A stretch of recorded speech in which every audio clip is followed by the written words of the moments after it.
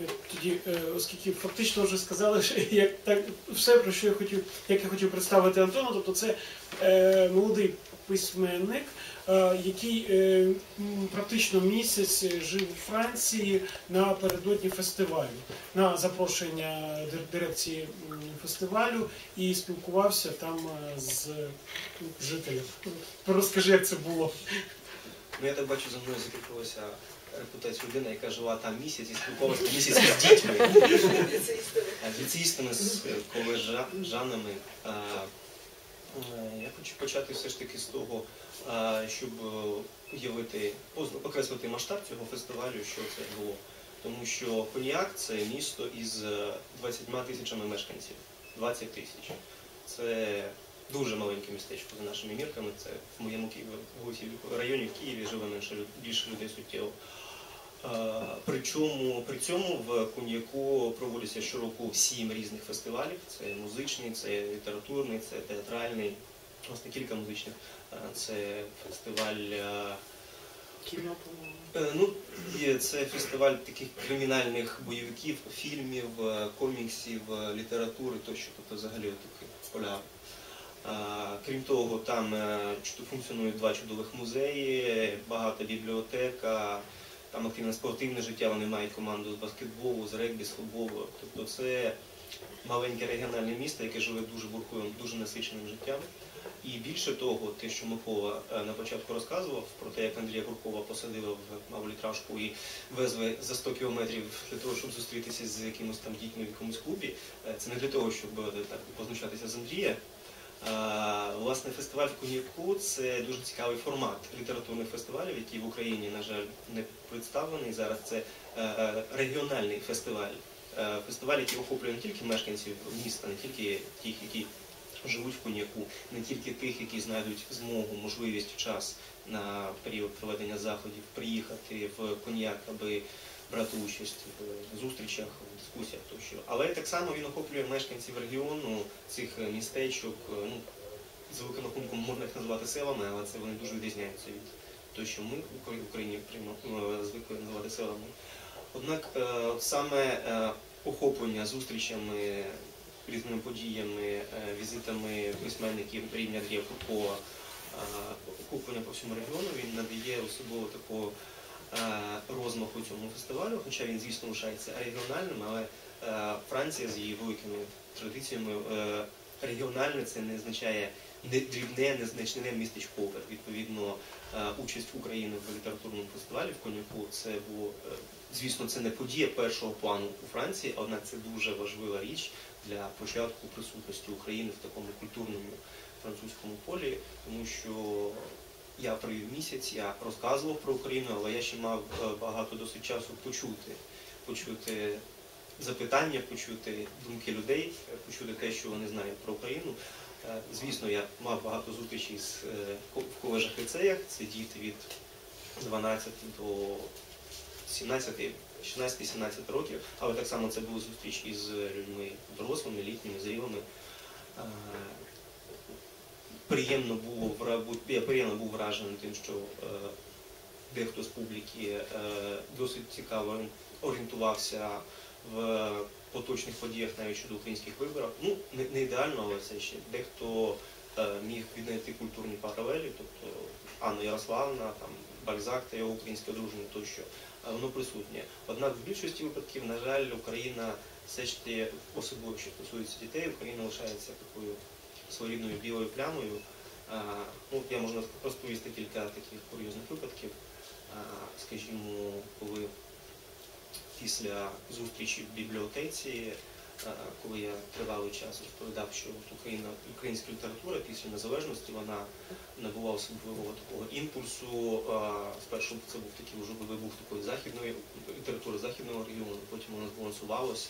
Зараз Україна має літературу несучасну, дуже цікаву, різноманітну, яка охоплює всі регіони України. Відбувається багато фестивалів. Тощо я розповідаю такі речі довго тривало.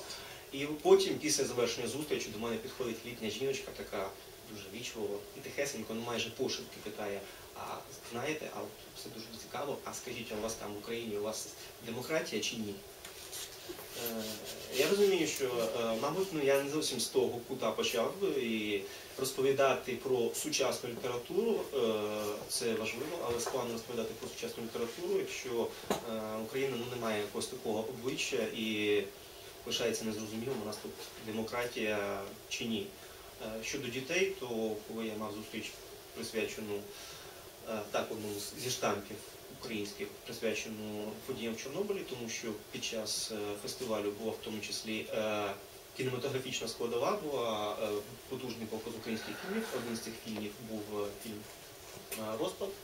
І французька сторона вирішила, що ліцеїстів варто підготувати до цієї зустрічі і трошки з ними провести дискусію, мої спогади як українця, який це все переживав. А, і відповідно я починаю розповідь, я розповідаю, що енергетика в Радянському Союзі вона мала ще й символічний вимір, не тільки як індустріалізація, як це був там певний міф, міф е, подолання природи. Думаю, зараз красиво можна до- до- доречно зацитувати Леніна про його е, комунізм як е, влада раб та електрифікацію. Я цитую і бачу, що реакції ну, в залі жодної. Я перепитую, чи відомо, хто такий Ленін. Вони не знають, хто такий Ленін. Е, Далі я перепитую, чи вони взагалі орієнтуються, що таке, ну, що таке комунізм. Вони не дуже знають. Вони, я питаю, чи вони знають взагалі про існування Радянського Союзу.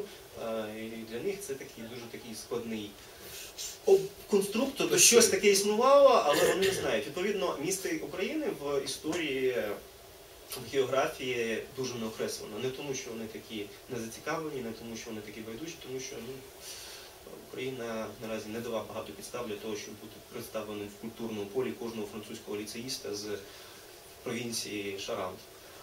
Однак е, дуже приємно, що публіка була дуже від найменших до найстарших людей дуже активна, вони дуже зацікавлені, вони ставлять запитання, вони беруть участь в розмові.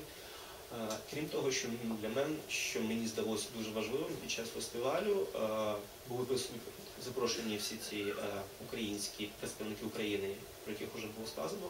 Однак організатори ще спробували віднайти такий собі світовий контекст України, віднайти французів, але не тільки митців, художників, письменників, які з тих чи інших причин вони були зацікавлені Україною, українською тематикою. Наприклад, був представлений запрошений Ігорд, це автор графічних романів, коміксів, е, іспанець, е, який видав е, італієць. Я, я просто пам'ятаю, що він розповідав, що він з латинської якоїсь країни. Я перепрошую, він чудово розмовляє французькою, який видав е, Кає Каньо, українські зошити, присвячені в тому числі подіям українського голодомору. Був був представлений е, французький е, теж художник, е, ну, трошки письменник Себастьян Боке, який провів кілька тижнів в Чорнобильській зоні в Україні, зрозуміло, який після цього підготував фотовиставку, підготував виставку графічних робіт, навіть видав книжку, яка перекладена, ну, видно в Україні, перекладена українською і французькою. То Україну під час фестивалю представляла не просто українці, а ще було намагання організаторів показати, що от це культура, історія держави дійсно світового значення. Ось вона, бачите, як вписана в сучасну історію, навіть не там не дошукуючись е, джерел, не повертаючись там в період там Ярославини тощо.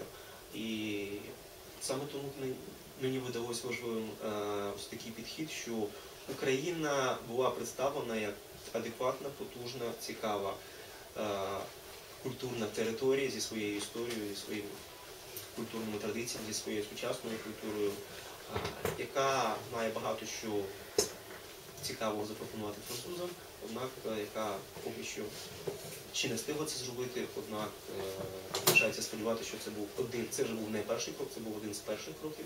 Однак будемо сподіватися, що за цим першим кроком далі буде довгий, виснажливий, але насичений марафон. Дякую.